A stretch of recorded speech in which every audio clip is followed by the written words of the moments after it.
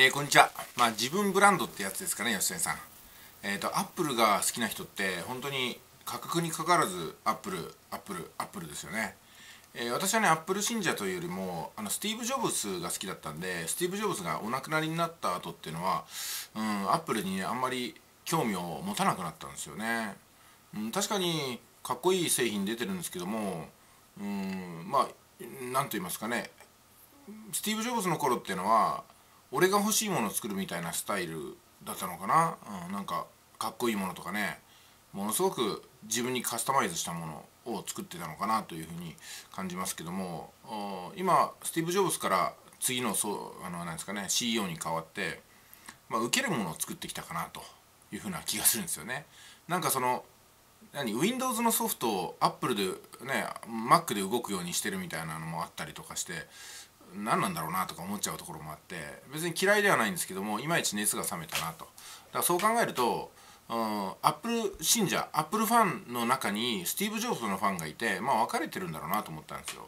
ですんでねあのアップルのことが好きだとかアップル信者だって言ってもじゃあ今の CEO はって聞かれたらあの答えられない人もいて ねドキッとするでしょこれ見た人。誰だっけと思う人ティム・クックじゃないですか、うん、だからね私はねあのアップルっていうのはスティーブ・ジョブズ1台のものだと思いますしその後は、うん、ティム・クックのアップル。だからもうちょっと別のシリーズなんだろうなと思いますよね。うんまあ iPad もねあの数々の種類が出てますけども、うん、本当にこれで良かったのかなとか思うところもあったりね、うん、すごくシンプルにして製品はもうワンオンリーなんだっていう風な、まあ、そんなね、えスティーブ・ジョブズのメッセージがあったと思うんですけども今は割とどっち買っても一緒だろうみたいなのが出てきたりとかあの iPhone もねリニューアルされてないんですよね。あの新しい機種になっても。今回11の MAXPRO になってカメラが高性能になったんですけども、まあ、そのぐらいでカメラが良くなってるだけと。他はどうなんだっていうこともありますよね、まあ、バッテリーの持ちも良くなりました今回の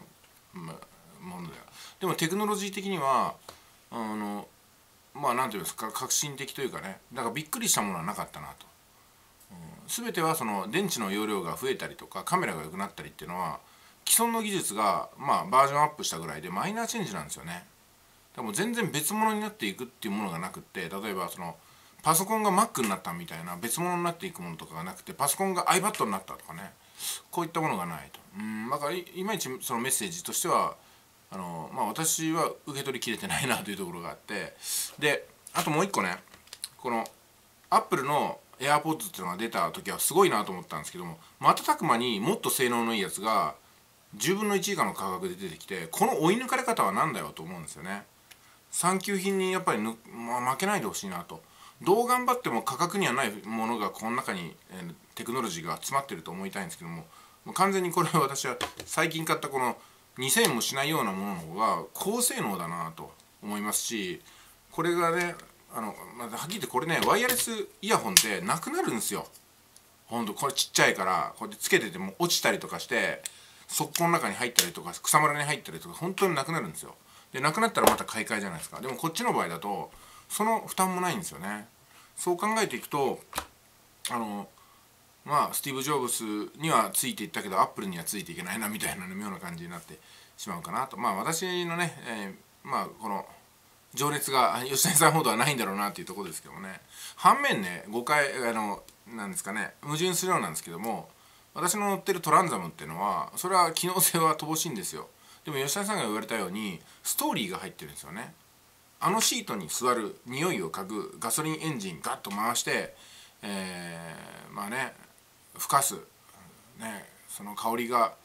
本来は臭いはずなんですけども心地いいとかね。でエンジンスターター回して、えアクセル踏むとアクセルのところがビューってゲージが上がってね緑のゲージがアクセルを踏んだって感じがする。そして、えキットが話しかけてくると、うん、ここにはあの価格には変えられないストーリーがあるんですよね、まあ、まさに幸せを感じる瞬間です。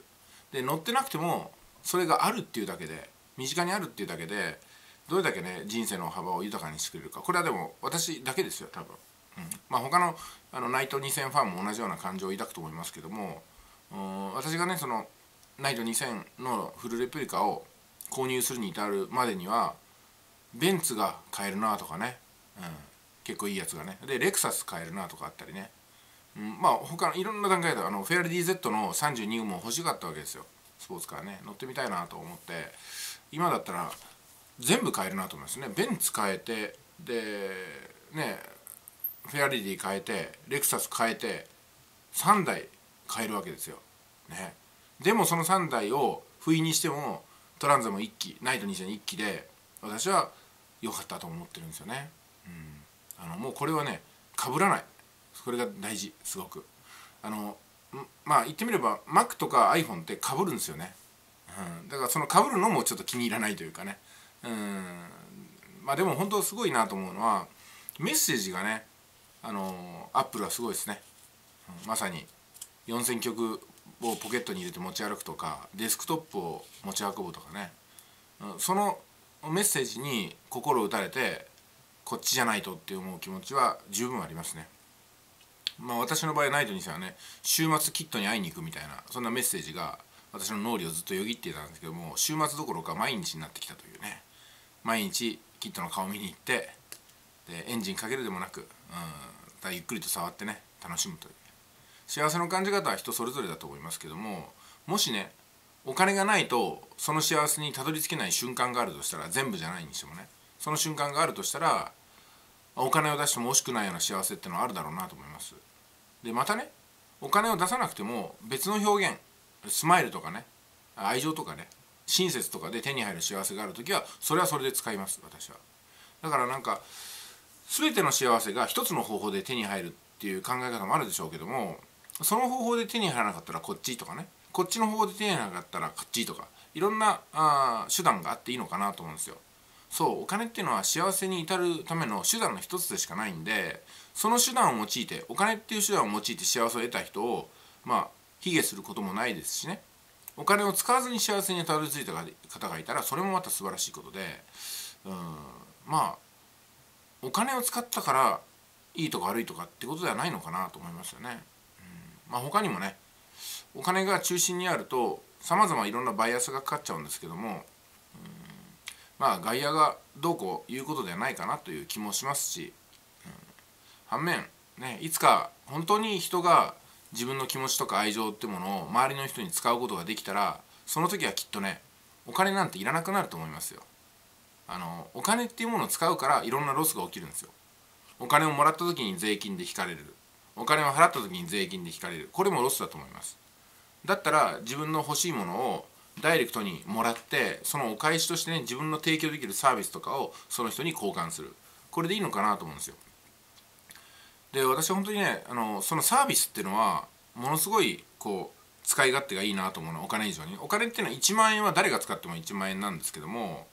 あの私が作ったホームページっていうのはそれ3000円で買う人もいれば10万で買う人もいたりとか様々なんですよね。受け取った価値で価格が決まるんですよ。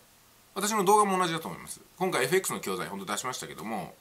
これはあのある方から見るとものすごくタイミングが良くてこういうのが欲しかったんだってね。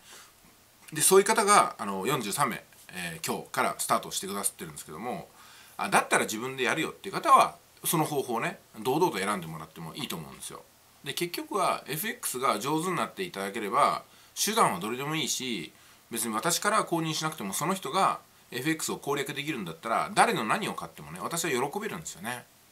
うん、だから私の買わないとダメってことでもないですし痛いですね、うん、だからあのネットビジネス学びたいドリームアカデミア行こうか速稼塾行こうか。それもものすごく素晴らしい選択だと思います。私は自信を持って速稼塾に来てもらってもドリームアカデミアに来てもらってもどっちも目的にはたどり着くと思うんですよ。ただ目的にたどり着くための足があなたにあるかどうかってことですね。足。すぐにへたり込んじゃうと結局どんな道を歩いても道半ばなんですよ。坂が急だろうとねなだらかだろうと結局歩かない人止まる人っていうのはどんななだらかな道も挫折するんですよね。できちんと歩ける人っていうのはどんな急な坂でも登っていけるんだと思うんですよ。例えねそれが本当に苦難に満ちた日々であっても全ての苦難に対して喜びを持って挑戦していけるんじゃないかなと思いますけどもね。それではいってらっしゃい。